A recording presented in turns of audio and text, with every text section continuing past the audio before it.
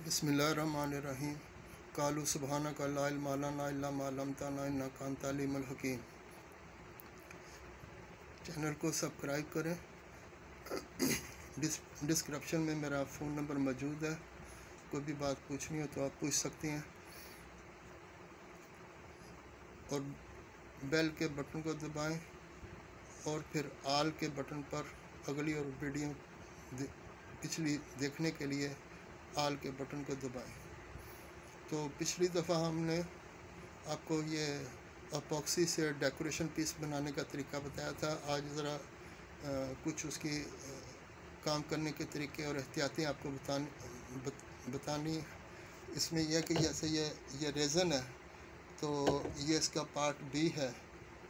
तो बी का ये इसकी जो रेशो है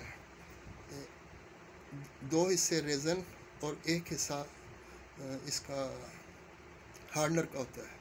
अब जैसे 200 ग्राम ए हमने डाला और 100 ग्राम हमने हार्डनर डालना है। अब यह कि हार्डनर का अगर थोड़ा सा ज़्यादा हो जाए तो वो जो उसका रिएक्शन है, वो तेज़ हो जाता है, यानी जल्दी ड्राई होता है। और अगर उसको बी का कम हो तो उससे यह कि टाइम बढ़ जाता है। यानी थोड़ा सा ऊपर नीचे होने से कोई ऐसा मसला नहीं है।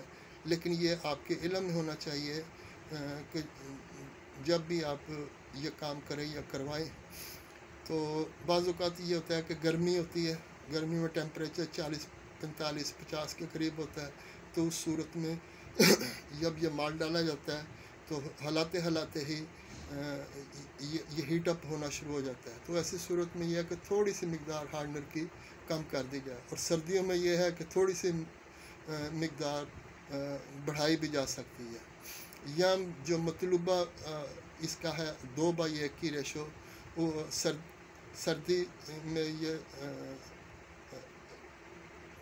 पूरी या थोड़ी सी बी की रेशो बढ़ाई जा सकती है और गर्मी में बी की रेशो दो बाई एक की कम की जा सकती है यानी हार्डनर को थोड़ा सा कम किया जा सकता है। उससे यह कि थोड़ा सा टाइम बढ़ जाता है।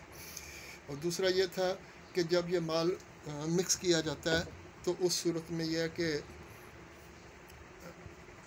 अच्छे तरीके से मिक्स करके जब डाल दिया जाता है तो हीट गन की, की मदद से उसके अंदर गर्म हवा दी जाती है। जिससे ये है कि माल को जो एक्शन है जब ले रहा होता है तो उस दौरान बबल्स पैदा होते हैं। और वो बबल्स हीट की वजह से सरफेस पे आके ख़त्म हो जाते हैं। इस तरह आपका जो जो शील्ड है या डेकोरेशन पीस है, वो आपका यानी कि बिल्कुल शीशे की तरह साफ़ निकलता है। जितनी आप इसके अंदर मेहनत करेंगे, उस हिसाब से उतना ही उसके अंदर ये खूबी बढ़ती चली जाएगी। तो हमने ये, उस दिन ये, उस दिन ये हमने ये बनाया था डेकोरेशन पीस जिसमें पुरानी घड़ी हमने डाली थी। तो इसमें थोड़ा सा रंग, क्योंकि मटेरियल काम था, थोड़ा सा रंग इसमें ज़्यादा होने की वजह से यह कि ज़रा वो जो चीज़ हमें नज़र आनी थी वो ज़रा कम नज़र आ रही है। तो इस, इस फिर ये दूसरा पीस हमने बनाया इसमें हमने ये रिंग है कि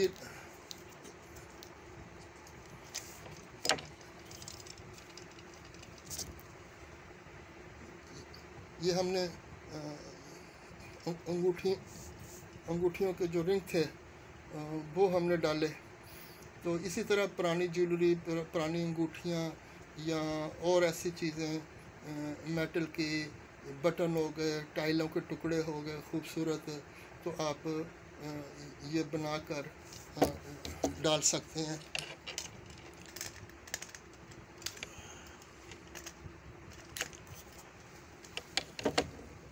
और और ये जो बल्ब था उसके ऊपर से हमने ये उसका गिलास उतारा और उसके ऊपर हमने ये ये लगा दिया। तो ये किस्म का ला- ला, लाइट बन गई। इसी तरह चौरस में आप बना सकते हैं। ये प्लास्टिक का डब्बा था। इसमें हमने की रिंग अपना ये जो अंगूठियाँ डाली जो पुरानी पड़ी थी तो उसके अंदर ये माल डाल दिया। तो उससे ये कि ये ये ये चीज़ तैयार हो गई। अब यह कि इसको हमने ये इस तरह करके ये ये बल्ब का हमने कैप उतार के तो उसके ऊपर हमने लगा दिया। तो ये ये आप देख सकते हैं कि की रिंग इसके अंदर। ये पड़े। अब इसमें थोड़ा सा कलर ज़्यादा होने की वजह से यह कि ज़रा थोड़ा यानी कि क्लियर नज़र नहीं आ रहा। लेकिन यह कि अगर मकदार मटेरियल की ज़्यादा होती तो ये ये जो उसके, या या हम कलर ना भी डालें तो ये मतलब बिल्कुल नीचे से चीज़ें नज़र आएँगी और ये ख़राब भी नहीं होता किसी दीवार के साथ आप इसको हैंग कर सकते हैं। जिस तरह के हमने ये ये, टाइलों के टुकड़े थे हमने रख के उसको हमने ये- पैक कर दिया। तो इस तरह करके आप दीवार के ऊपर लगा सकते हैं या जहाँ आपका दिल करे। तो इस तरह और भी ये क्रिएशन का प्रोसीजर होता है जो कि आहिस्ता आहिस्ता आप मज़ीद सफ़ाई के साथ बेहतर करते चले जा सकते हैं। वाखर दावन अलहमदिल्ला